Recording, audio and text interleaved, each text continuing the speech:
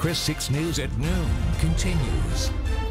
Welcome back. The early bird doesn't always get the worm. Today it got turtle hatchlings. Hundreds of people gathered at the Padre Island National Seashore for the return of public turtle hatchling releases. The star attraction, Kemp's Ridley Hatchlings, and they did not disappoint. Victoria Valderrama was there this morning and captured all the oohs and ahs.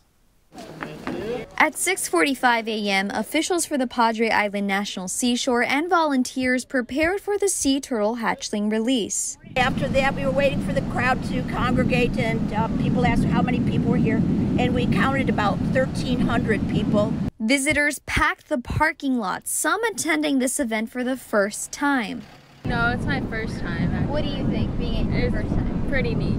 It's really cool. Other visitors traveling as far as Las Vegas just to catch a glimpse of the turtles. My daughter is here for the week and she invited me to come and we found out about the turtles so we're thrilled to be here today.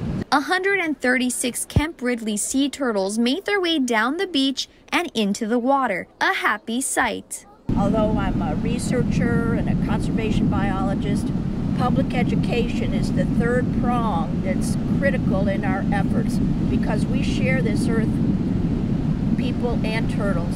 Dr. Shaver says the turtles released today will go up the Atlantic coast or return to nests in the Gulf. Reporting at Padre Island National Seashore, Victoria Valderrama, KRIS 6 News.